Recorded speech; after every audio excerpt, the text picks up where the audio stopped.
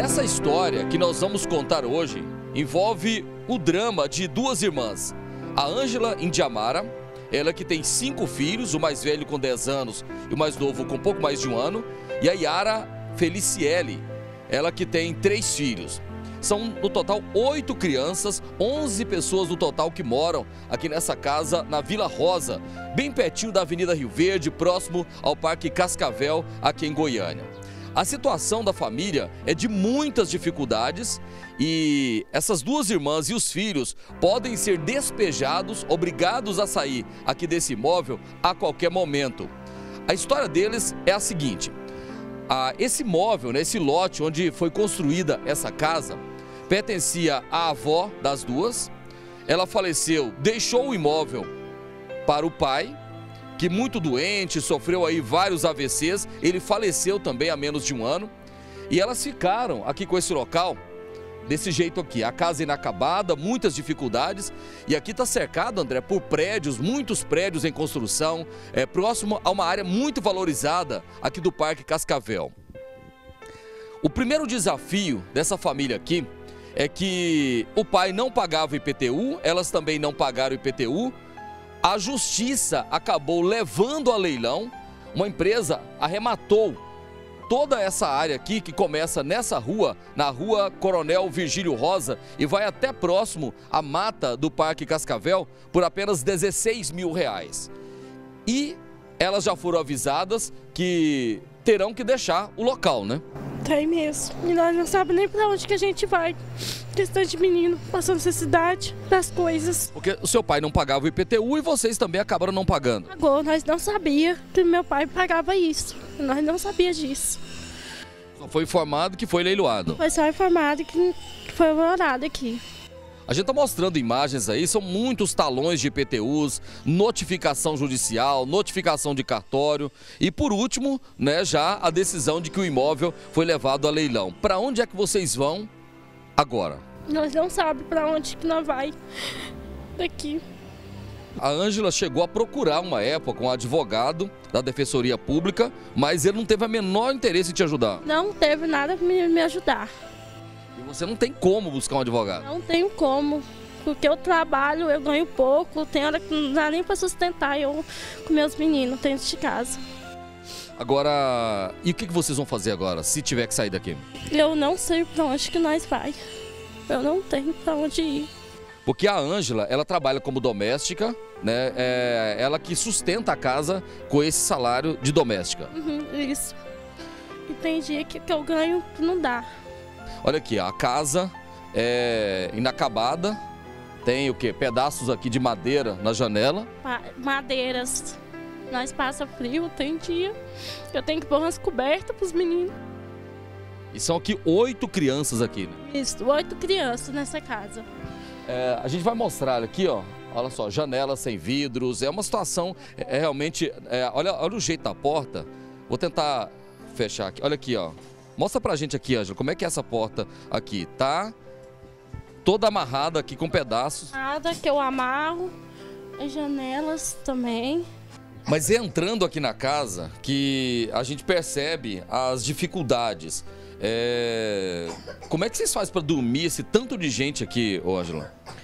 A minha menina dorme ali na cama com meu outro menino. Aí eu tenho esse colchãozinho ali, ó, que tá no canto, e ponho aqui no chão pro meu menino dormir. Esse colchão é o que você usa colocar no chão? É, eu pego esse colchão, ponho aqui, meu menino pega e dorme nele. Aqui é uma espécie de cozinha que tem armário, tem um fogão aqui já bem usado também, né? Tem a, aqui a, a gente vê aqui a geladeira também com pouca, quase não tem nada é, o que tem aqui um pouco de leite é porque eles ganharam, né? Eles ganharam ontem. Que situação é essa aqui, Ângela, que vocês vivem? Aqui a gente vive assim, eu dormo aqui com meu outro menino, né? Aí o guarda-roupa que eu tenho é desse jeito, das roupas que eu ponho, que eu dobro, ponho assim, cada, cada, cada roupa dos meus meninos, só. E assim, a como é que é isso? Como é que é viver num lugar desse aqui? Nossa, não é muito bom. Vivo porque não tem outro jeito, né? É difícil. É difícil, não é fácil. Mas chega a faltar comida, ah, o básico para vocês aqui? Tem dia que falta. Falta leite para meus meninos, que não tinha leite. Eu teve que pedir, ontem eu teve que trabalhar pro vizinho ali do lado, que eu ganhei duas caixas de leite. Você trabalhou para ganhar duas caixas de leite? De leite ontem. Porque esse meu pequenininho, ele bebe leite. Eu tenho três meninos que bebem leite. Os grandes não bebem. Você não, os meninos não podem, os grandes não podem tomar leite. Assim, na hora que tem, eles bebem. Só que na hora que não tem, eu falo, meu filho, não bebe. Deixa pros seus outros irmãos pequenos.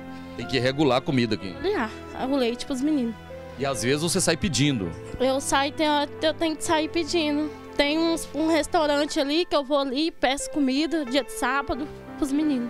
Vamos entrar aqui nessa parte aqui. É, tem um banheiro assim aqui, É, né? banheiro. Banheiro que tá bem já é, é, com vários problemas aí. Quer dizer, um banheiro para todo mundo, né? É pra todo mundo que a gente usa o banheiro, pra todo mundo.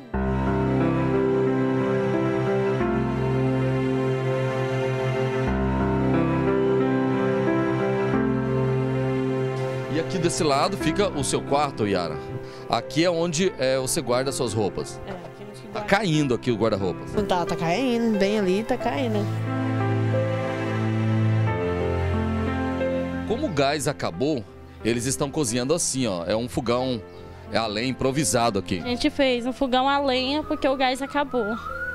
Agora, o que você ganha não dá pra manter a casa com alimentos e tudo mais. Não dá porque eu tenho que pagar energia, né? Que a energia vem muito cara aqui. O que eu ganho, eu vou no supermercado, compro pouca coisa, já não dá. Eu- Às vezes não dá pra terminar o mês com a comida. dá, porque os trem é muito caro, as coisas. Que situação é essa que vocês estão vivendo aqui? A gente vive assim, só Jesus para ajudar, só Deus. A gente tem que entregar na mão dos outros, os outros que ajudam a gente muito. Agora, além de dificuldade pra comer, a situação da casa, vocês correm o risco, inclusive, de ter que sair daqui. Até de perder a casa também aqui. O principal nesse momento que a gente precisa aqui para a Ângela e a Yara é que algum advogado, algum um escritório de advocacia se prontificasse aí a olhar o que, que pode ser feito, né? Se tem como reverter esse leilão, se tem como é, reverter a situação é, dessa família que vive aqui na Vila Rosa. Então, ah, você que é advogado, tem um escritório de advocacia, né, se puder dar uma olhada, porque elas procuraram a Defensoria Pública, mas não conseguiram muita coisa. Então, a primeira coisa é olhar o que que pode ser feito né, é, em relação à situação de vocês aqui. Se vocês puderem fazer para nós, para ajudar nós, eu achava muito bom.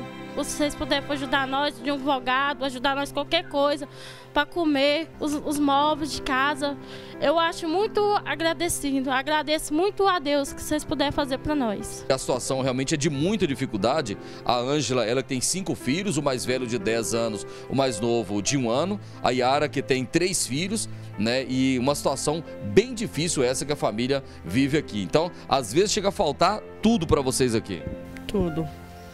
É difícil. Hum, Aí, de vez em quando, eu fico pedindo os vizinhos, gosto de falta uma sal, falta um litro de óleo, eu vou pegando.